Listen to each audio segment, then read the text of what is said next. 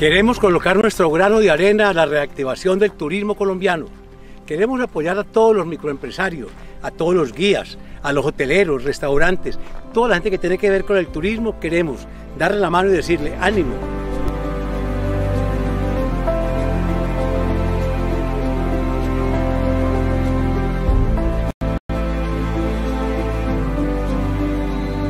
Con nuestra presencia en uno de los sitios más lindos de Colombia, el desierto de la Tatacó aquí en Villavieja, el Huila, queremos contarles a ustedes que todos los que estamos en la actividad turística tenemos que colaborarlo, una solidaridad para los guías, restaurantes, hoteleros, líneas aéreas, para que conozcamos más a Colombia, querramos más nuestro país, porque los operadores nuestros tienen todo coordinado de bioseguridad para la seguridad de ustedes personalmente.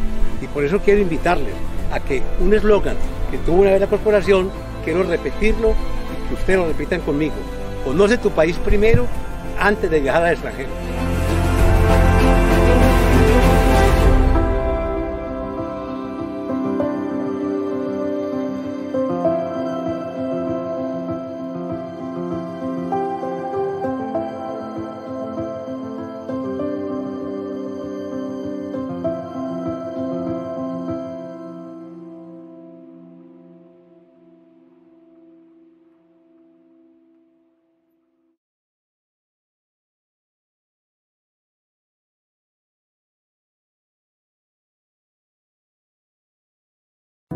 La ruta de atención para mujeres víctimas de violencias basadas en género responde a los mandatos normativos para garantizar su protección y la restitución de los derechos. Mediante esta ruta, las mujeres podrán denunciar y acudir a las autoridades competentes para solicitar información.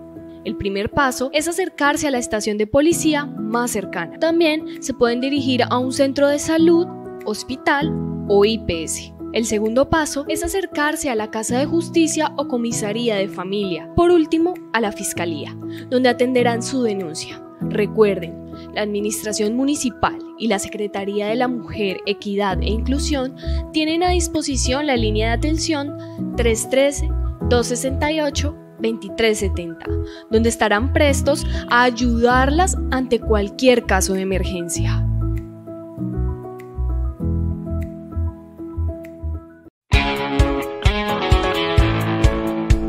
Electrohuila ahora también en su celular. Descargar la nueva aplicación es muy sencillo, solo debes seguir estos pasos. Primero, busque y abra la aplicación de Google Play Store si es un dispositivo Android o la App Store para iOS. Segundo, ubique el icono del buscador y escriba Electrohuila. Tercero, presione el botón Instalar. Cuarto, abra la aplicación Electrohuila, registre su correo electrónico y contraseña.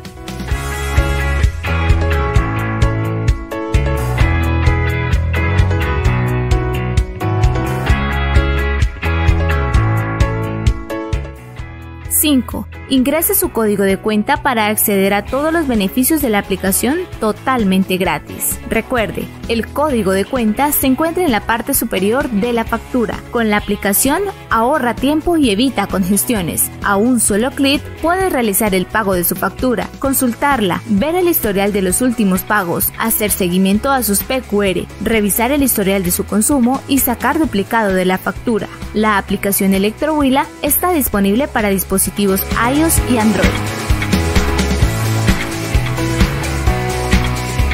Reinventistas. Adjetivo. Personas valientes capaces de evolucionar para salir adelante. O en otras palabras, cocineras tradicionales que comparten su sabiduría por YouTube. Empresarios que motivan a su gente en el chat. Sí, vamos. Y en la cocina. Los que diseñan tapabocas con estilo.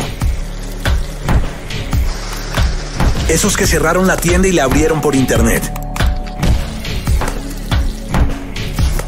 Los que entre reuniones escriben un libro. O aprenden guitarra. O paciencia. Los que no necesitan aulas para seguir enseñando. Los que trabajamos día a día por el bienestar de todos. Hoy todos somos reinventistas y podemos cambiar el mundo para inventarlo de nuevo. El mundo nos necesita a todos.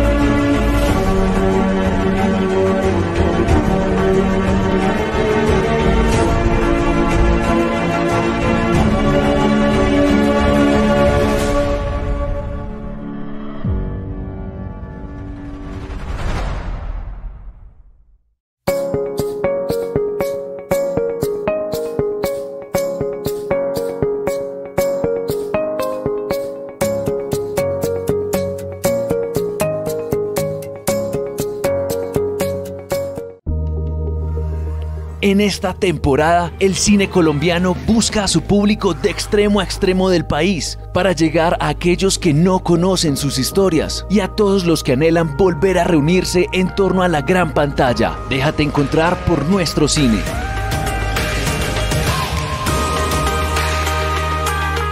Temporada Cine Crea Colombia 2020. El cine colombiano no se encuentra.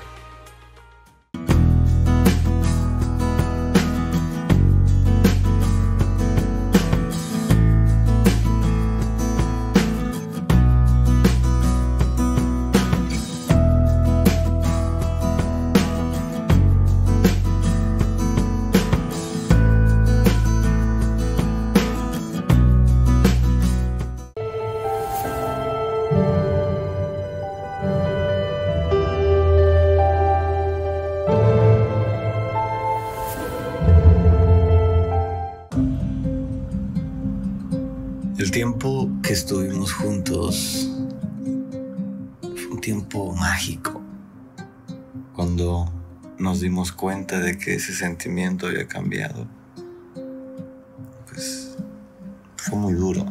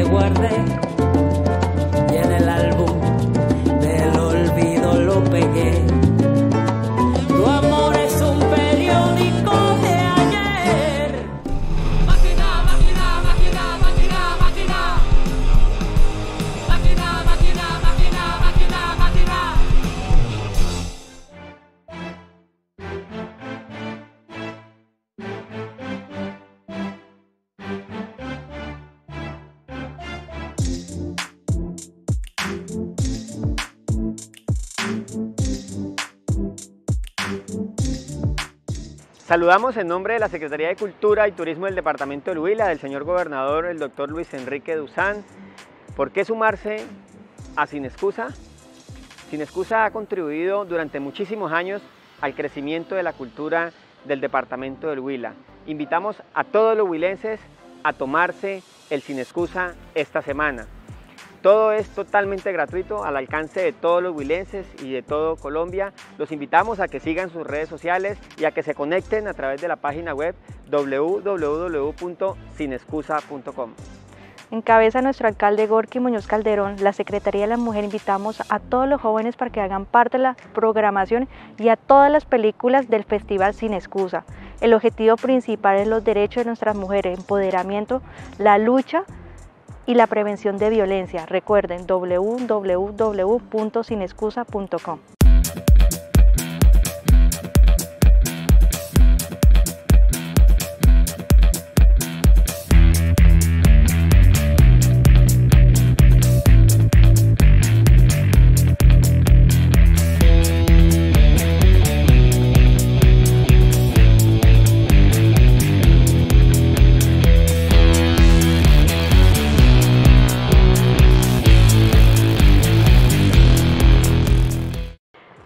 narrar la lucha social sin edulcorar ni estigmatizar?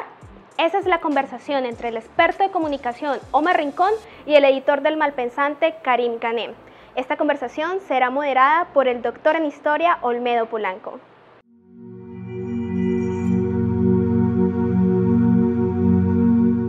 Desde estos espacios de la virtualidad les deseamos a ustedes en el lugar del mundo donde se encuentren un lindo día.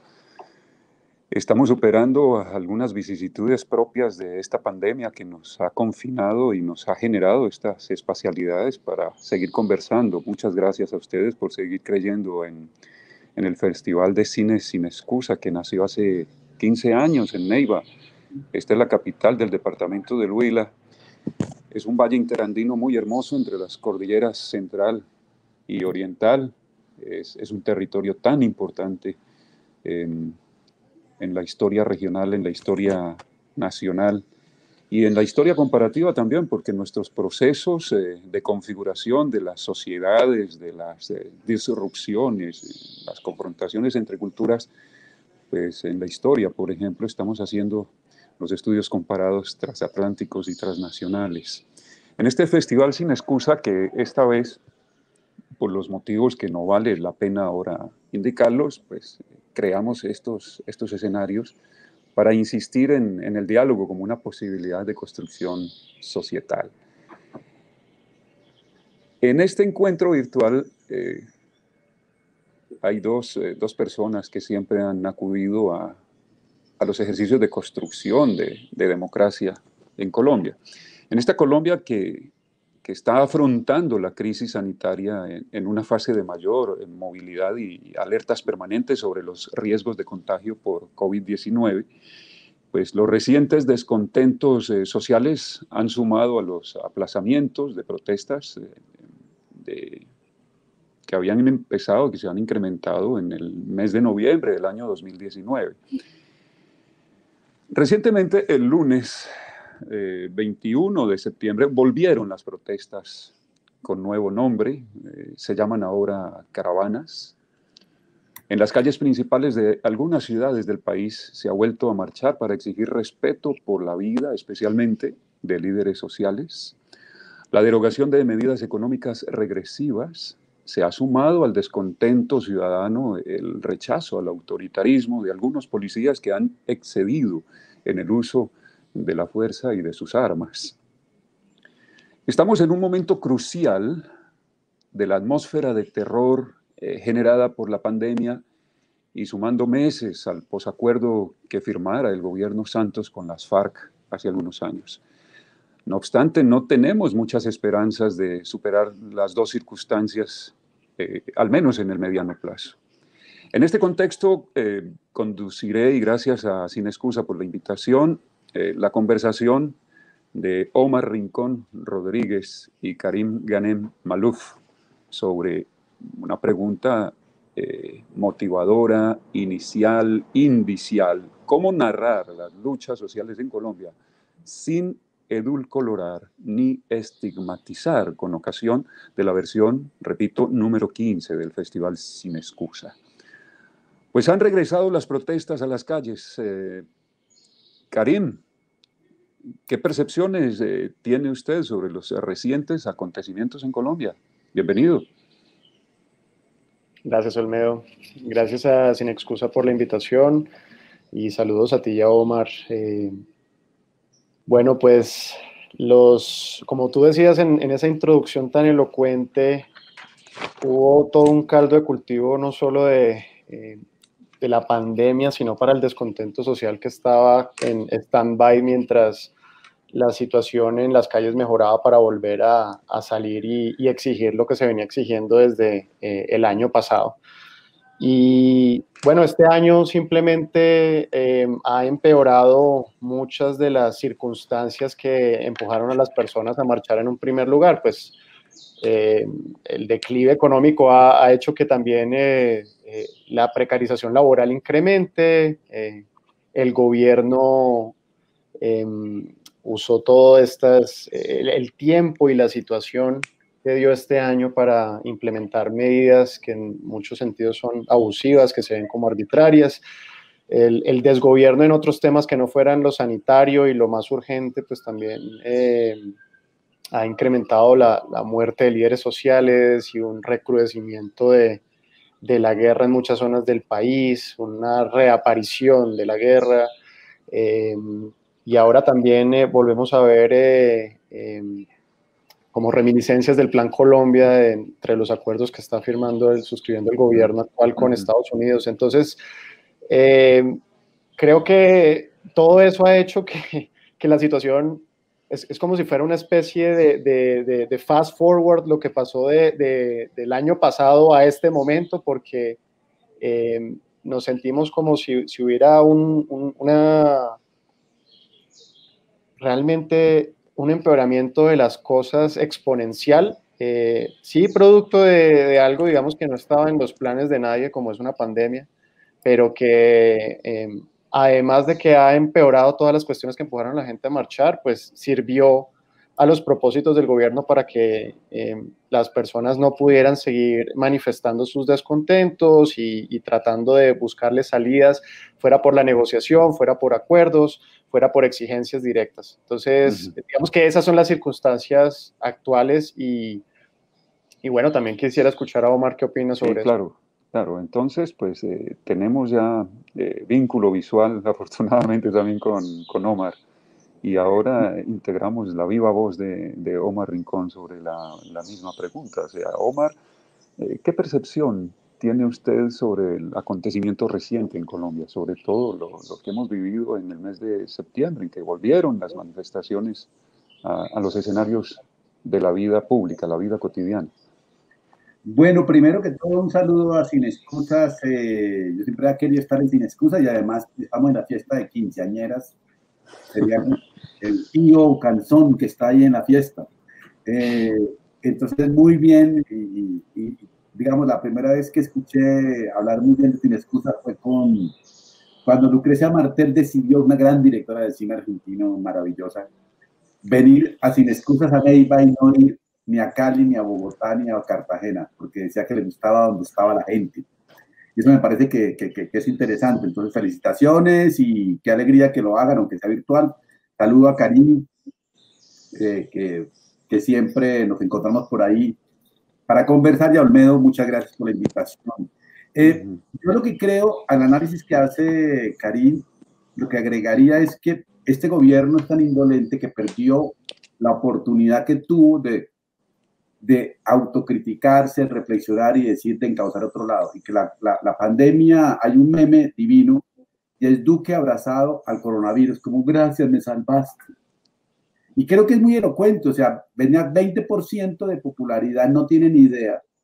Y con esto logró unificar a todos los medios con él, a todos los empresarios con él, tuvo a todo el país a su servicio y fue capaz de despilfarrar todo este, este tipo de, de, de de capital político que se ganó y lo desperdició tontamente porque siguió en su torpeza de no entender que está en un país y que es un presidente. Entonces yo creo que eh, la, las marchas, como dice Karim, van a volver más recargadas porque es que la pandemia ha sido una exposición real y visceral de demostrar que el gobierno no le interesa a los ciudadanos, no le interesa el país. Ellos gobiernan como dicen que es tecnócratas, y yo sí creo que es eso. Yo escucho, eh, Karim de pronto también ha visto y Olmedo las exposiciones de economía naranja y son excelentes PowerPoint, pero es para un país que no es Colombia. Es como una cosa, le dicen es que Colombia tiene conexión de 50%, si aumentamos 80% celulares, 80% de gente se volverá innovadora y la innovación generará tanta empresa. Y uno dice, Hello Kitty, eso para un curso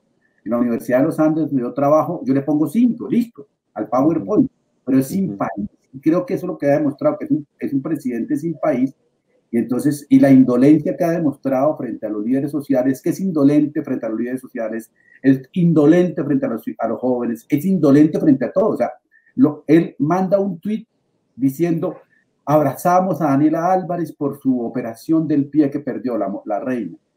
Pero muere un líder social y no es capaz de, de hacer eso. Eh, la policía reprime y es capaz de poner la, la, la, chaqueta de la policía para decir que apoya a la policía. O sea, uh -huh.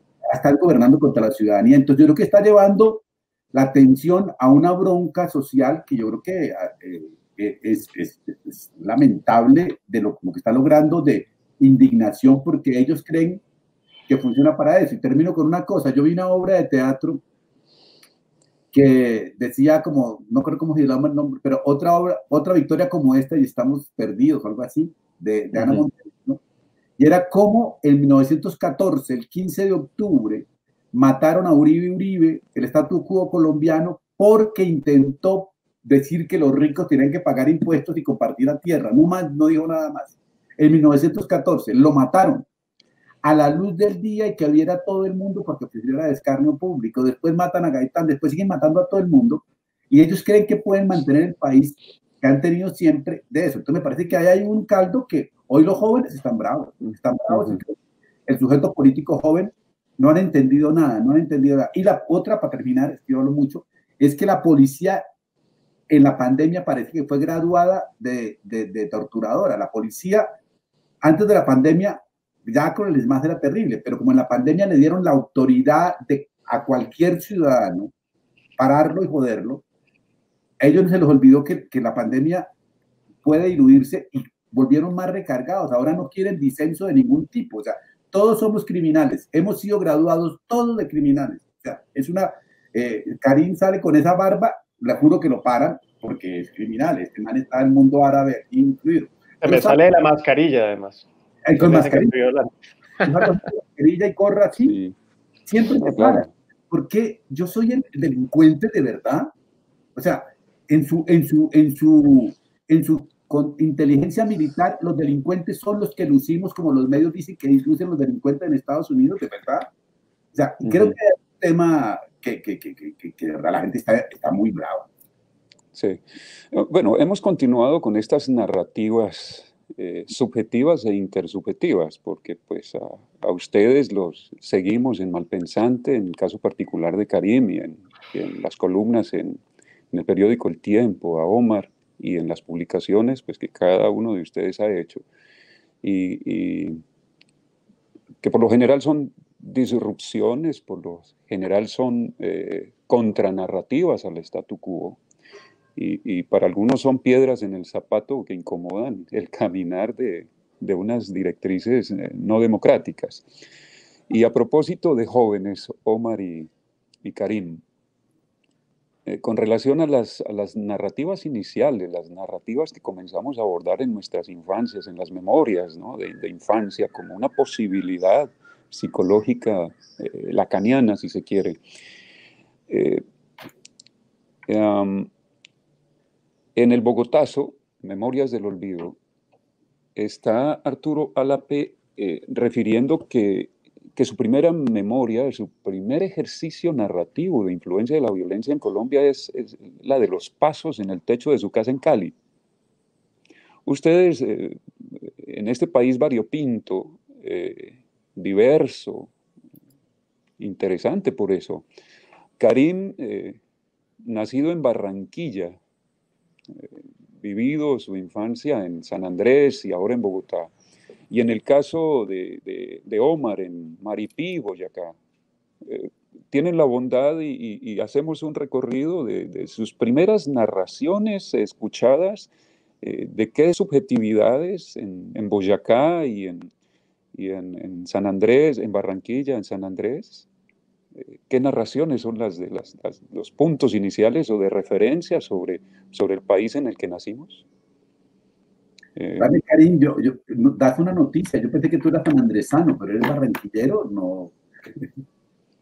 Soy las dos cosas. Que nací en Barranquilla y crecí en San Andrés. Ah, eh, pero pues estuve viviendo entre, entre los dos lugares, entonces creo que mi, bueno, esa pregunta que hace Olmedo es interesante, pero uf, tan amplia. Eh, voy a, intentar eh, restringirla a una sola imagen. Eh, creo que una de las cosas más problemáticas en mi caso de haber crecido en, la costa y en el, Caribe de forma amplia, en Cartagena, en, el Bolívar Atlántico y, y en San Andrés, es esa presencia eh, abrumadora de, cierta noción de lo que es la izquierda o de lo que son las luchas sociales o de lo que es correcto, incorrecto, el tipo de ética que se maneja en, la región. Eh, y a mi relación conflictiva creciendo en ese lugar con lo que podían ser los lineamientos éticos de las personas eh, con las que convivía, desde mi familia hasta los amigos. Se sumó luego el, como la, la, crítica tal vez exacerbada que yo percibía desde la capital hacia esa región cuando me vine a vivir a Bogotá ya hace una década. Eh, entonces, yo siento que y, hace parte de mi práctica eh, estilística. Yo, siempre asumo el rol de abogado del diablo. Eh, entonces, mientras que en la costa se me percibía como un, bohemio y un izquierdista, en Bogotá creo que se me percibe más como alguien recalcitrante, a veces de derechas, a veces de centro, eh, reaccionario, porque trato de matizar. Como que yo no demonizo a todas las personas que están en la costa por pensar como piensan sobre, por ejemplo, la guerrilla o sobre el fenómeno del paramilitarismo. Trato de entender Em, en, digamos, en, el caso de eh, lo sumergido que estamos todos en, el Caribe, en esa retaliación, en esa venganza que fue el paramilitarismo, en esa cosa que también a muchos eh, eh, emprendieron con ingenuidad, ¿no? Como se apoyan muchos fenómenos al principio y luego se salió totalmente de las manos de esas personas y quedó también en las de los más endemoniados. Eh, digamos que no es defender ni lo uno ni lo otro, sino, sino comprender cuáles son los motivos detrás, cuál fue la, la historia detrás de eso. Es, es, muy raro tratar de estudiar esos fenómenos desde la capital, por lo que te digo, porque se, se toman posiciones eh, en blanco o en negro. Lo mismo cuando estaba en el Caribe tratando de entender lo que eh, era la guerrilla visto desde otros puntos cardinales, Em, o lo que era cualquier movimiento social que allá era demonizado como de una forma muy estadounidense, como de, una vez guerrillero. ¿no?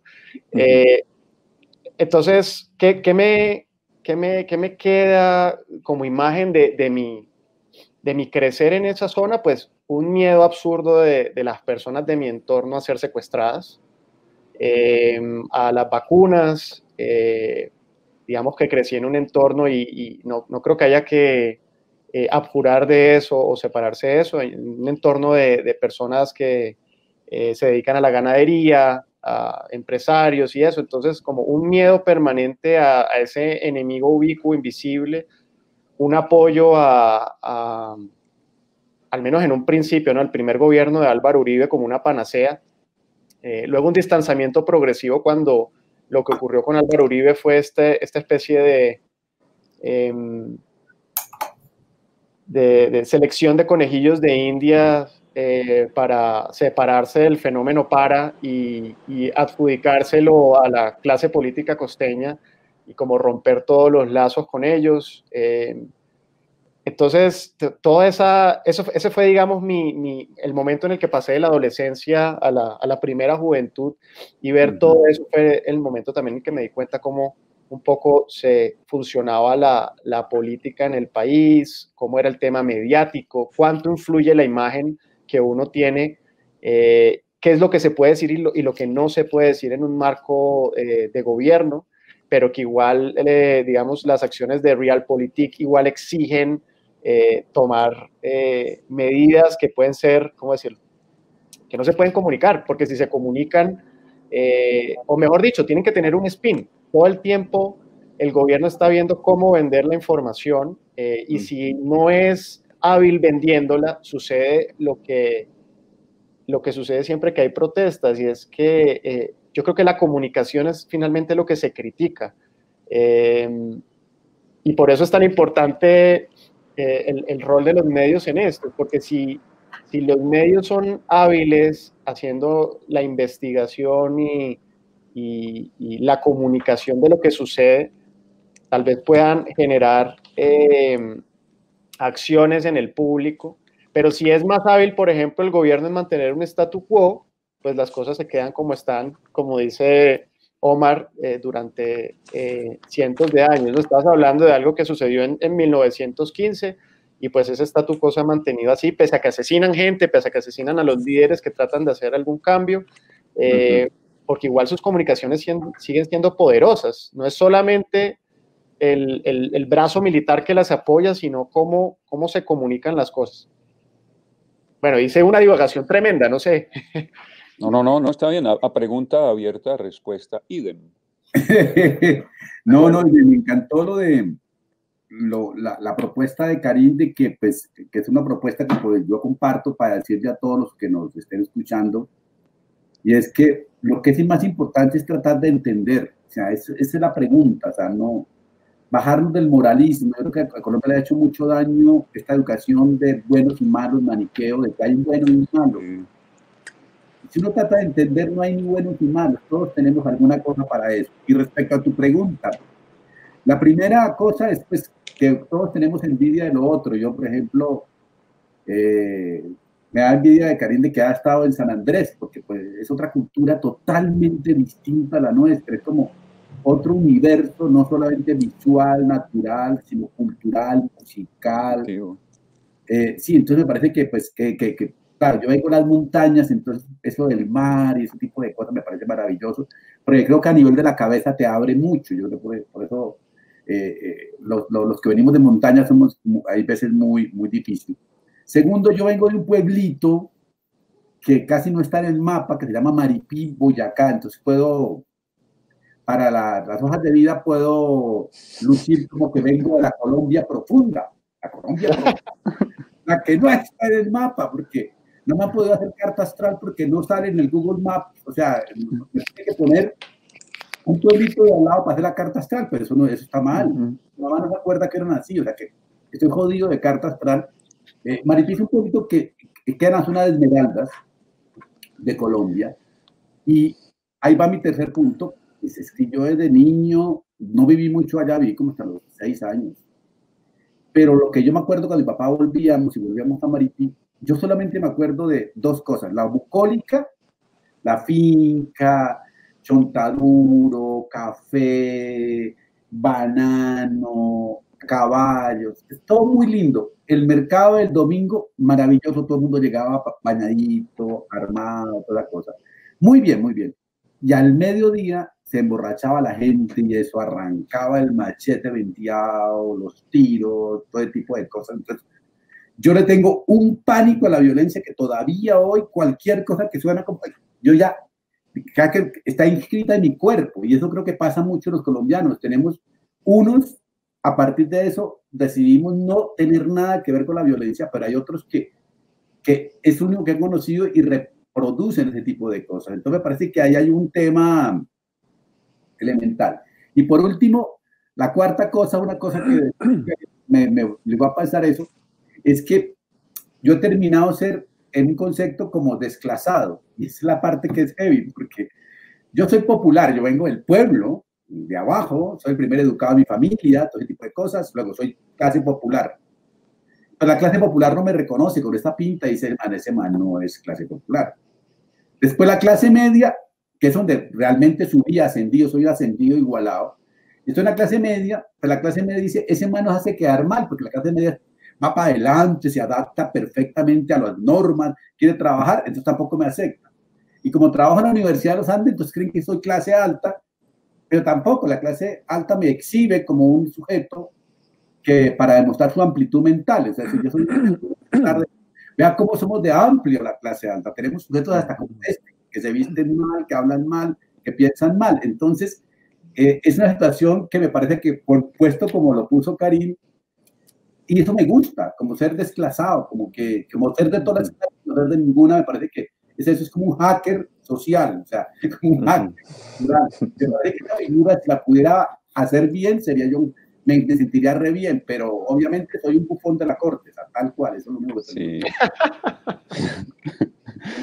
Karim y, Omar, es muy emocionante eh, tener la posibilidad en estas nuevas realidades de, conversar sobre nuestros orígenes. O sea, yo les agradezco en nombre de Sin Excusa que hayan eh, corrido la cortina para dejar entrar luz sobre sus infancias, ¿no? Que es poco lo que hablamos sobre eso, porque las narrativas sobre esos primeros años, eh, estas formas de violencias contemporáneas nos han negado encontrarnos para conversar sobre eso. Y a propósito, eh, artículo con lo siguiente, pues ustedes han creado un abanico de posibilidades para, para dialogar y, creería que, que, seguiremos en eso, salvo que ahora tenemos el tiempo eh, contado, es eh, si ustedes han crecido con esas estéticas, con esas percepciones a, a, lo Kapuscinski, pues conectando los, los cinco sentidos en unas atmósferas eh, auditivas, visuales, olfativas, ¿sí? Omar en, un territorio de esmeraldas, ¿no? Eh, cerca de las minas de Cospuez, de Peñas Blancas, y, y el paisaje caribe y, y, el otro color que no, no dista mucho de la esmeralda en, en, el profundo mar, que es el caso de, Karim. El país ha ido construyendo eh, unas confrontaciones, unas pulsiones, unas tensiones que son las que los acogen a ustedes posteriormente en, sus edades eh, de adolescentes y de jóvenes y ahora en, edad adulta. Si ustedes vienen eh, con esos constructos sociales, antropológicos, históricos, ¿cómo abordan entonces en los ejercicios narrativos el país que les ha tocado vivir? O sea, ¿con qué metodologías ustedes narran el país y nos cuentan el país? Un país que quiere hacerse oír, un país que no depone la construcción de escenarios para la política, que los militares han quedado bajo el control eh, de, de, del uso indiscriminado de las armas, que han tenido eh, pues, eh, mayor importancia en estos últimos gobiernos en cuanto a, algunos ejercicios de represión, algunos, que hay exclusión política, por ejemplo, que el clientelismo es una forma de relación, que el gobierno está en favor de, minorías poderosas.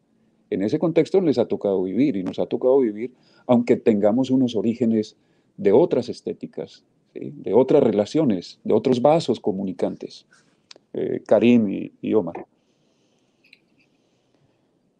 Pues eh, creo que en mi caso eh, esa, ese país que me tocó vivir ha fortalecido el sentido del humor en mí como una especie de, de, de reacción ante la resignación.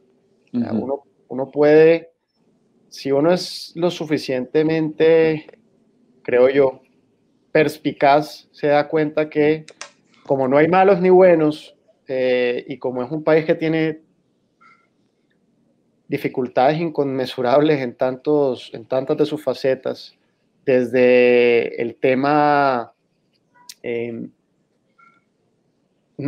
desde un tema de no, no estar consolidado como naciones, creo que uno de los asuntos más problemáticos de Colombia es que no, Que no nos entendemos como un colectivo que en el que nos preocupe el bien ajeno, sino somos súper individualistas o, tenemos pequeños colectivos, sean regionales o étnicos, eh, porque incluso, bueno, en ciertas zonas de Colombia opera es eh, una pequeña nacionalidad étnica, como en ciertas zonas antioqueñas, o en el caso de San Andrés, por ejemplo, todos los conflictos que viven los raizales con respecto a los colombianos, que ellos se refieren como colombianos ahí sí o como continentales.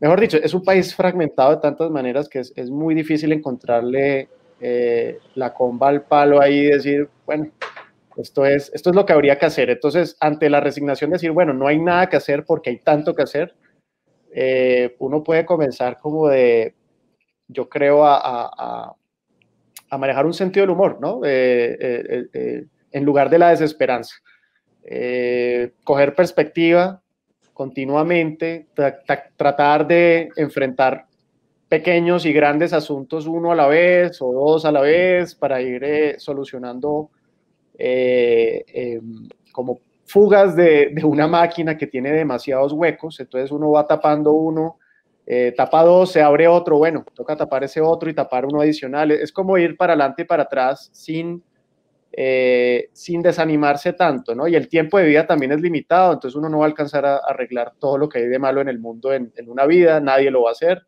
entonces es, es como pequeños retos también.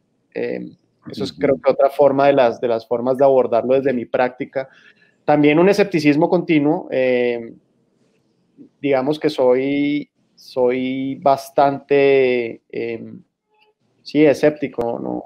intento no comer entero ni de los que son supuestamente buenos, eh, ni de los malos, tampoco creerme la, malicia total de ninguno. Bueno, un poco reiterando lo que decíamos Omar y yo en la, en la respuesta pasada, como tratar de ahondar en los matices.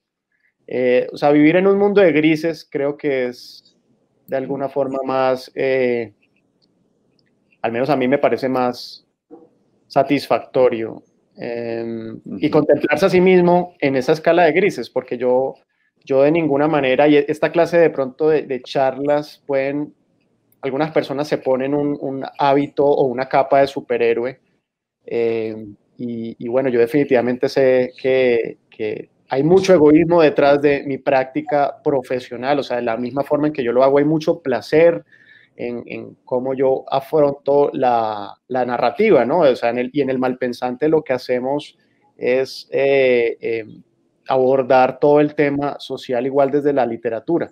Entonces, la, literatura como una, la literatura como una forma de digerir esta materia cruda que es eh, la realidad y expresarla en términos de la imaginación o en el caso del periodismo narrativo, pues a través de, de la forma, ¿no? La estética. Entonces, bueno, eh, eh, hay otra cosa. Ahora, hablando de superhéroes y de, caretas, eh, y, esto no es una promoción paga, pero hay, una serie muy buena que salió en Amazon Prime que se llama The Voice, es, es muy reciente.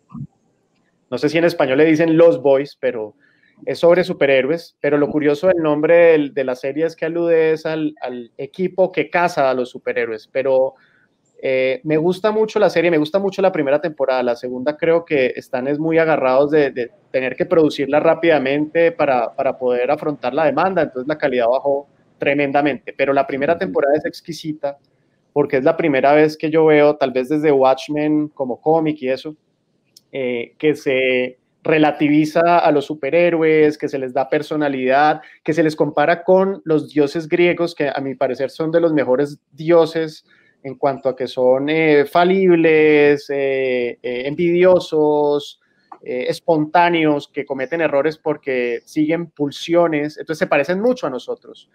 Em, entonces, incluso cuando el, como nuestros modelos, nuestros role models, adquieren estas características ya caricaturescas y se vuelven buenos por completo, nosotros mismos nos podemos volver intolerantes. Eh, y, luego eso le juega en contra a esos también a esos modelos, porque entonces el día que cometen un error o que se sabe algo sobre su pasado, se derrumban, ¿no? Y en nuestro pasado todos tenemos alguna cosa que hicimos que no está bien. Una eh, es como la naturaleza humana. Entonces, bueno, digamos que esas son algunas de las, de, de, las formas en que yo he adecuado mi, o que he aprendido a ver el mundo para, para lo que hago. Bueno, como dice Karim, hay me, paro en lo de los grises y que este, estar en los grises es ser contradictorio, o sea, que uno es súper contradictorio. Hay veces uno dice algo y después todo llega a la calle y se le salió un racismo, un clasismo, un machismo y uno mismo se pega, pero ser consciente por lo menos que lo tenemos. O sea, eso es ser gris, tener conciencia de que tengo cosas y que estoy autocrítico. Y me gustó el ejemplo de los dioses griegos porque a mí siempre me parecieron que son los dioses más bacanos, porque son divertidos, pelean, juegan, los hombres también juegan con ellos, ellos juegan con los hombres. Y al ser muchos, no tenemos esa moral de un solo Dios que nos vigila, que es la católica, que es terrible, que es un solo Dios encima, que desde que uno se levanta por la mañana está culpable porque Dios lo está mirando porque se levantó tarde. O sea, ese es un Dios culpable, castigador, muy fuerte. Entonces, que eso, eso parte. Segundo, un comentario de respecto a lo, a lo que planteaba Solmedo al comienzo. Yo, para que no parezcamos, yo, yo no quiero parecer pesimista tanto. Yo creo que el país, digamos, en lo político, no, el statu quo sigue, los dueños de las fincas siguen, pero también el país ha cambiado mentalmente en muchas cosas, digamos. Yo soy un sujeto de eso, o sea, que yo logré llegar a la universidad, llegué a ser doctor, llegué a ser profesor titular de una universidad Play. O sea, digo, hay ejemplos de que sí podemos, de que hay gente que lo ha logrado y que hay cada vez más conciencia. Uno es lo que le da más bronca, que es que el país sí, de alguna forma, ha existido. Malpensante sobrevive contra todo. Eh, y una época brillante, periodismo cultural, de revistas culturales, y ahora pues es otro, otro mundo, pero pareciera que se quiera negar todo eso que hemos ganado, que ha sido súper importante de ese tipo de cosas. La tercera cosa es cuando tú dices las estéticas y narrativas con que nos contamos, estoy de acuerdo con, con Karim, que intentaría el humor, pero no sé si lo logre. Entonces yo lo que he logrado es como ser bastardo. ¿Y qué es lo que digo con eso de bastardo? Como moverme. Yo, los colegas académicos dicen que yo soy muy farandulero. Los de periodismo dicen que soy muy académico. los, o sea, ninguna parte, como que me muevo de un lado para otro porque me encanta, me, me parece fascinante. O sea, cuando yo hago un libro, no sigue ninguna norma, pueden citar APA, Michelin, lo que sea, pueden citar como periodistas, como artistas, como se le dé la gana, porque es como romper esos moldes. Entonces me parece que lo que yo hago es como, ahora me volví artista. Soy un profesor, soy un periodista, guanabí, venido académico, y ahora la última cosa que hice fue esto, que es Colombia y es una exposición eh, artística que hice con Lucas Pupilo y con X Andrade, hicimos una cosa divina, preguntar aquí, allí donde está lo narco está lo más colombiano, entonces decidí que el arte me permite reflexionar lo que yo quiero reflexionar y asumir el sujeto experiencia narco para pensarla desde sí misma y no como para yo elevarme de gusto, sino convertirla en un gusto auténticamente nacional. Casi que es una apología del narco en las estéticas para que hagamos catarsis de ese gusto nacional que tenemos. Entonces, ese moverme y salgo de ahí y me voy a otra parte. O sea, ya, ya hice lo narco, ahora me voy para otro lado. O sea, me aburrí ya como que, eh, decía Martín Caparrós que los que somos de alma periodista somos una cultura del, del despilfarro, creo que lo decía, no me acuerdo bien la, la palabra precisa, y era, sabemos todo de algo y tan pronto sabemos todo de algo pasamos a otro tema. En cambio, el académico es, sabe una cosita, profundiza. Con, con la etnografía que hizo dos años, dura 80 años trabajando. Yo me aburrí profundamente. O sea, eso sería, soy un tipo que me aburro muy fácil. Es eso que me hace para otras estéticas y otras éticas. Y por último, eh, yo creo que yo soy muy, estoy muy emocionado, ya la vejez, me vuelvo muy emocionado, de descubrir que hay cosas tan maravillosas como, por ejemplo, el feminismo y lo que está haciendo en América Latina las mujeres jóvenes. No el feminismo viejo, grande, sino las chicas jóvenes. Lo que están haciendo en América Latina es como, wow, qué descubrimiento, como están mezclando la estética pop con la lucha feminista, como esa música que están haciendo, esas tomas de calle, esas performances, esas cosas que hacen en Chile, en Argentina, en Colombia, en Estados Unidos, en Europa. Yo estoy fascinado con eso. Eh, me estoy fascinando también, no con el modo de vida, porque la Latina es muy dura, yo si no lo alabo, el modo de vida indígena, pero los saberes indígenas. Yo, me impresiona la profundidad de cosas que dicen, no para que yo volverme indígena, sino para escucharlos. Me encanta eh, esas propuestas espirituales, no solamente las musicales y el vida de lo del chocó, de lo afro. O sea, yo estoy fascinado con eso, como que eso me hace amanecer bien, como que yo me levanto y digo, cuando escucho esa música, digo, ay, hay gente que está haciendo cosas chéveres. Uno escucha a Lido Pimienta, uno escucha a Lina Babilonia y uno dice, ay, no, hay gente muy power. Este país tiene gente muy, pero muy poderosa, que no es Maluma, que está bien que está Maluma también y J Balvin, que también, no, no, no, no, no es aquí moralizando. Pero hay una gente que no conocemos que hace unas cosas como, cuando Lina Babilonia dice es que yo cantaba ópera y lo cantaba bien, pero esa música no pasaba por mi cuerpo, entonces me volví para ser cantadora de bullerengue, porque eso sí pasa por el cuerpo. Señoras y señores, estamos de una señora alucinante, esto no, eso no lo, aprendes en la universidad ni en ningún libro, eso es vida. Entonces yo creo que es esa contradicción permanente lo que soy. Bueno, gracias Omar, gracias también eh, Karim.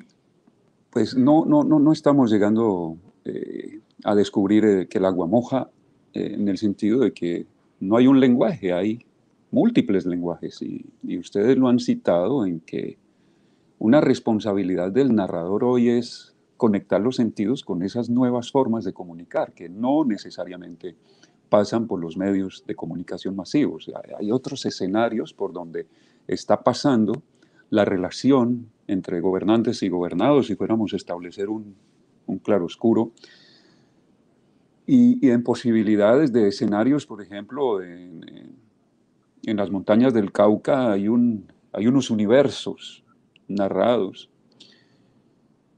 y en, el lenguaje, pues desafortunadamente muchas de las escuelas de periodismo se vaciaron de, la relación muy eh, coherente con la literatura. Luego narrar es complicadísimo si no se bebe de la literatura.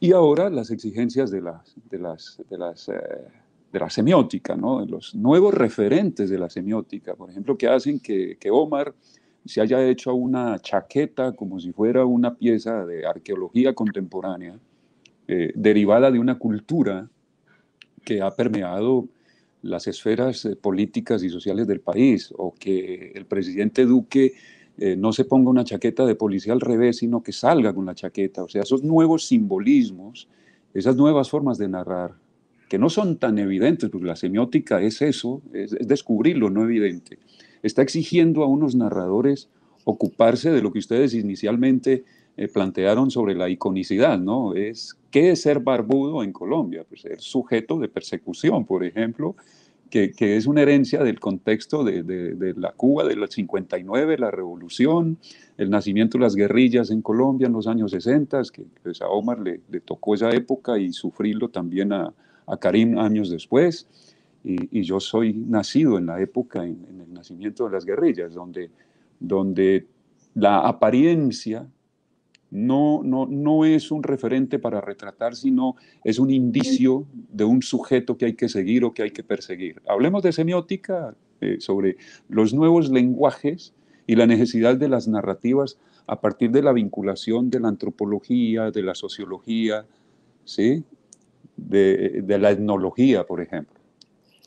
Bueno, es interesante que hables de, de, de lo de la barba, porque... Ajá yo no siento que en Bogotá particularmente sea eh, un hándicap o una debilidad o un punto débil en cuanto a la autoridad. De hecho, eh, creo que, eh, bueno, al menos cuando está bien cuidada, en este momento está muy salvaje, eh, me adscribe a un grupo socioeconómico al que la policía respeta.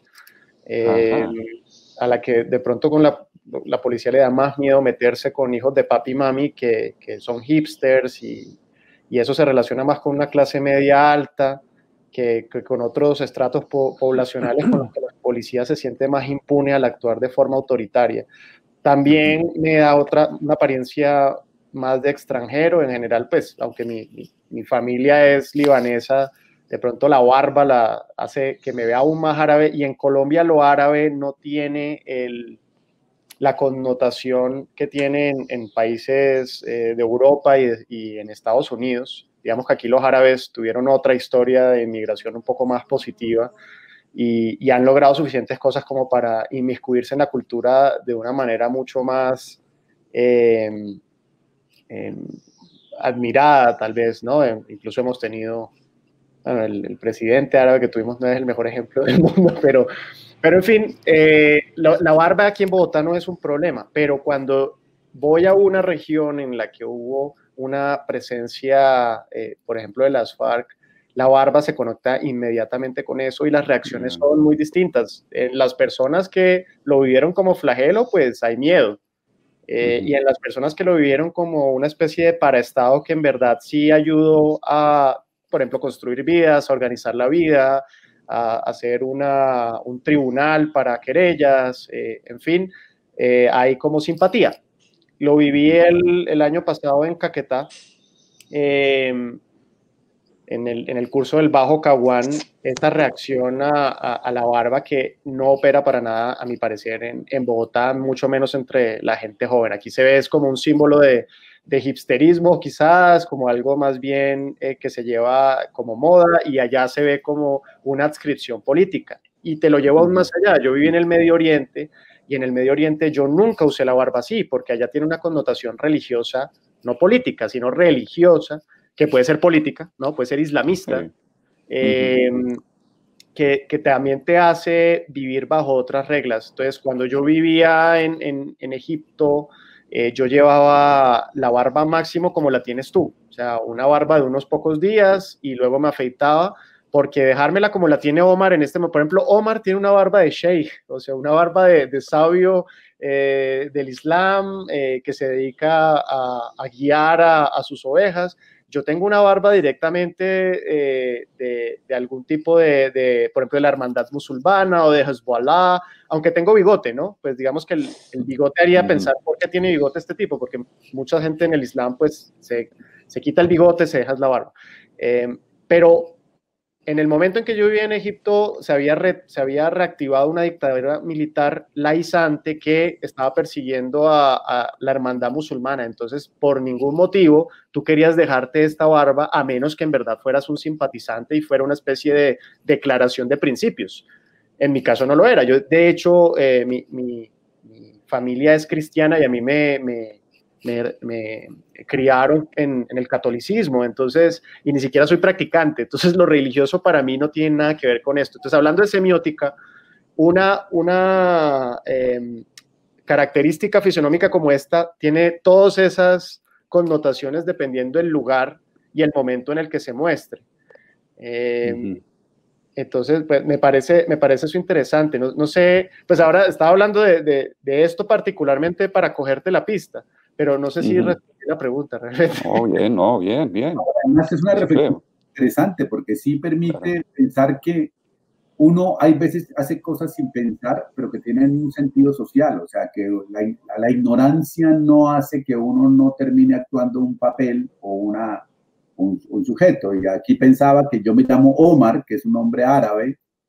Cuando llego a Estados Unidos me preguntan por qué me llamo Omar y llego la barba así, entonces, pues claro, comienzan a decir que soy árabe y no tengo nada que ver con nada, o sea, soy boyacense indígena, ya, ese tipo de cosas. Entonces, parece que la semiología es eso, cuando, para, para que los que nos ven, no es, es esa interpretación de la vida social de los signos y ver cómo todo significa y que no somos tan ingenuos como decimos para significar, que no es tan simple las, lo, la, la, sobre todo por ejemplo que estamos hablando de protestas sociales, lo que hace Duque no es simple. Él, él piensa que es ingenuo, porque los asesores de comunicación de él piensan que es ingenuidad hacer eso, pero tiene un significado súper poderoso. Lo que pasa es que ellos viven en función de las redes digitales y creen que con aparentar en las redes automáticamente solucionan el problema, pero no ven la profundidad estética.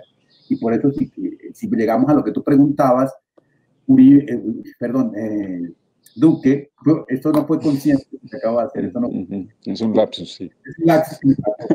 eh, Duque cree con sus asesores, como vienen de Yupilandia, que ellos tienen que controlar las redes digitales. Entonces le meten toda la plata del mundo a las redes digitales. Tienen todos los medios con él. Entonces la narrativa de las protestas sociales está totalmente libreteada del mundo oficial. Policía, violencia. O sea, cuando hay una marcha, la noticia por la mañana de Caracol o RCN es se, la policía dice que no habrá violencia por la tarde, que no dejará ningún vándalo. Ya anunciaron el libreto de la tarde. Y ellos tratan de ganar la guerra como lo ven ellos, porque ellos lo ven como una guerra contra el ciudadano en las redes digitales. Pero las redes digitales trabajan otra estética la que ellos pretenden. Entonces ellos contactan al hijo de Luis Echeverry como experto digital y el tipo no tiene ni idea, o sea, eh, no, no consiste control, hay una estética, lo que tú decías, hay una cosa de eso. Y entonces Duque termina prisionero de los memes. Entonces el sujeto presidencial termina en meme presidente. Entonces las redes logran hacer un trabajo que por lo menos ha visibilizado que no es homogéneo el discurso, y creo que en eso las redes han descubierto que la protesta social de hoy tiene un nuevo actor político que no es el clásico, no es los sindicalistas, no son los guerrilleros, no son los izquierdosos, es un ciudadano inconforme, joven, que está molesto.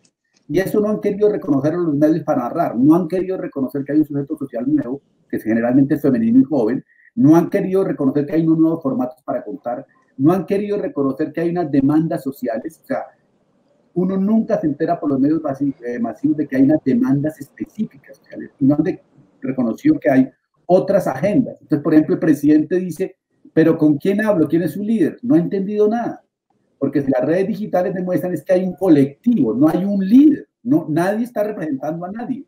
Es un dolor colectivo, es una bronca colectiva. Entonces me parece que ahí, eso, por ejemplo, con lo que tú, que tú decías, reparto con la formación de las facultades de comunicación. Las facultades de comunicación, yo fui profesor 20 años, fracasamos, estamos formando gente para el siglo XX. No estamos en esto. Eh, tú pones ejemplo literatura, no, no solamente que lean literatura, que vayan al arte, que vayan al diseño, que vayan, salirse del campito que hemos construido a ganar el mundo narrativo, porque como dice Barico, hoy se diseña narrativa, no, no es solamente storytelling, no, otra vez el curso de crónica clásico, eso no se puede hacer más. Y segundo, si no salimos de nuestro cofrecito, pero segundo, que tengan vida. Eh, hasta para, para, diseñar videojuegos hay que tener un poco de experiencia de la vida, de territorio, de las experiencias, de ir allá. Entonces, el estudiante de comunicación resuelve todo que con creatividad, sin mirada externa a su campo, desde las artes y la cultura, y sin territorio. Entonces, así pues básicamente pues, terminamos en un celular diciendo tonteras como EPA Colombia o ese tipo de cosas. Y si ese es el modelo de comunicador, pues no vayan a una facultad de comunicación, por favor, no vayan a esa vaina porque es que debería servir para otra cosa. Bueno, aquí están planteados entonces unos retos eh, coyunturales y unas apuestas sobre el horizonte de expectativa, ¿no? De un país que eh, parece estar viviendo otro frente nacional, un nuevo frente nacional, eh, que es una asignatura que dejó pendiente un, eh, un habitante cercano de, de, la tierra de Omar, el general Rojas Pinilla, pues que, que, fue nombrado en una época para pacificar el país y, y que los partidos tradicionales creyeron que lo han logrado, que hay una irrupción de, de nuevas eh, tensiones entre, entre las esferas, ¿no? sobre todo la política y la social, que se están manifestando en los escenarios de, de la calle, como los espacios por donde tienen que configurarse también los poderes, los poderes de los ciudadanos especialmente, en un país donde quizá nos afectaría sobremanera que, que lo que heredamos del Frente Nacional se sostuviera, ojalá no, que es la radicalización de los movimientos sociales, ¿no? en lo que ustedes han, han referido sobre los determinismos, sobre la necesidad de, de crear los claroscuros de, de, la gama de tonalidades que tiene este país y no, y no dejar de lado la, la, la posibilidad de abrir desde las narrativas los espacios de, de negociación política, ¿no? Como una, como una posibilidad que nos merecemos, a pesar de que el país pues, se dividió entre el sí y el no sobre eso y algunos asuntos que han quedado en el, tintero, por ejemplo, sobre los fundamentalismos, sobre el negacionismo, ¿no? Sería bueno seguir conversando cómo, cómo llegaron las narrativas de las bananeras a, a, a, a Karim, ¿no? Y cómo, cómo se construyeron las narrativas en la historia y la geografía de los Andes nuestros, en el Caribe. Bueno, queda mucho para seguir conversando. Eh, pues construyemos por ahora el cierre, ¿no? Yo agradezco eh, la comparecencia, si se me permite el término, ¿no? En, este ambiente eh, digital, eh, real, a mí me parece que esto es real también, esto no es virtual, es una nueva realidad. A instancias del decimoquinto Festival de Cine Sin Excusa, Karim, muchas gracias por aceptar la invitación y por, por, por ayudarnos a entrar en, en, en la constitución tuya como, como ser y, y, y como líder de, de, las narrativas en Malpensante. Gracias, Almedo. Y un gusto conversar con ustedes. Gracias al festival y siempre es chévere tener a Omar también como interlocutor y un placer conocerte a ti, Olmedo. No, con mucho gusto, es al contrario. Omar también, muchas gracias. Y si quieren construir unos cierres eh, Yo para dejar. Decir una cosa y después, gracias a Olmedo, a la Sin Excusa, a Karim, y qué chévere conversar. A mí me parece que este parching de café virtual funciona también y que es una de las cosas que tengo que aprovechar. Y muy pegado con el festival, que creo que lo que, lo que dijo Karim, lo que dije yo, lo que hizo el medio es como que los que nos ven se quedaron sin excusa para pensar con su propia cabeza. O sea, que por favor, uh -huh. sin excusa, piensen con su propia cabeza, no con la de Karim, no con la de Omar Rincón, no con la de Olmedo, con la suya. Piense con su propia cabeza. Pero piense. Pero piense. Un abrazo desde Neiva a Karim. Feliz estancia donde te acoja la geografía nacional y, y, y el mundo global. Sí, un abrazo para ustedes también. Yo creo que ese cierre de, de, Omar es perfecto, así que yo lo dejo así sí. también. Suscribo. Ah, bien. Omar, un abrazo también desde esta eh, geografía de Valle Interandino, desde Neiva. Un abrazo a tu altitud en 2600 en Bogotá. Sí, un abrazote y extrañando el calor de por allá. Ah, bien. Te mandaremos y, y, y, acá, pues, sabes que los caminos conducen, ¿no? Uh -huh. Bueno, un abrazo a los organizadores de Sin Excusa. Muchas gracias por facilitar estos espacios de pensamiento, como han dicho Karim y Omar.